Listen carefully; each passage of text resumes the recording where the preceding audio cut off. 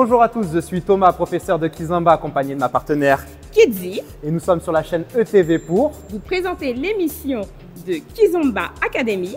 afin que vous puissiez découvrir les pas de base de la Kizomba et découvrir cette belle danse qui va vous accompagner pour la suite.